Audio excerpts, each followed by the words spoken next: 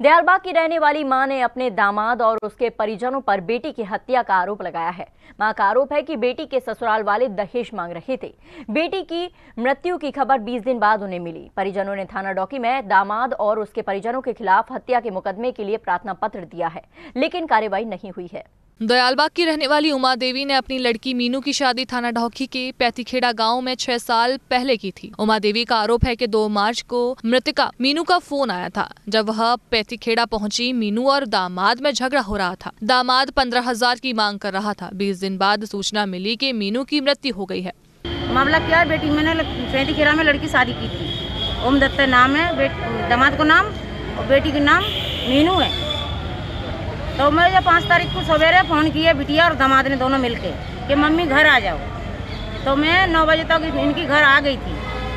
जब आई तो दोनों मियाँ बीबी में झगड़ा हो रही थी। उसके बाद मैंने दोनों को वैसे आपस की बात है। पूना से आए, दो तारीख को मेहमान। मेरी लड़कों के पास रहते थे पूना में मेहमान, उमदत्त।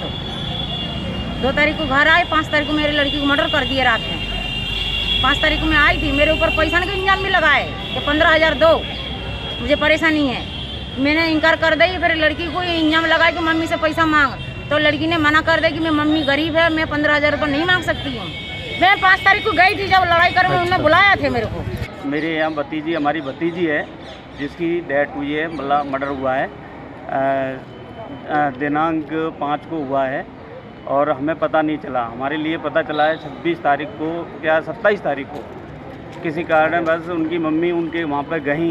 तब उन्होंने कुछ गाँव वालों ने ये बताया कि कि आपकी लड़की को, लड़की तो फांसी लेकर के मर गई। तब उन्होंने वही हमसे पूछा, उनसे पूछा तो उन्होंने कुछ नहीं बताया। उसके बाद उन्होंने जीता ये कह दिया कि आप थाने में चले जाओ। जब थाने में जाके पता चला तो थाने वालों ने हमें बताया कि वो पाँच तारीख को, पाँच तारीख की रात को उसकी फांसी लगा करके मरी। मृतका मीनू की माँ को इस बात का मलाल है कि दामाद, ओम दत्त और उनके परिजन ने बेटी मीनू के मौत की सूचना तक नहीं दी। पुलिस ने भी उनको सूचना नहीं दी। परिजनों का आरोप है कि ससुराली जनों ने बेटे की हत्या की है। थाना ढौकी पुलिस मुकदमा दर्ज नहीं कर रही है। सी न्यूज़ के लिए मनीष जैन की रिपोर्ट। आगरा के सर्वाधिक लोकप्रिय चैनल सी न्यूज़ के यूट्यूब चैनल को सब्सक्राइब करें और हाँ बेलाइकन को प्रेस करना न भूलें।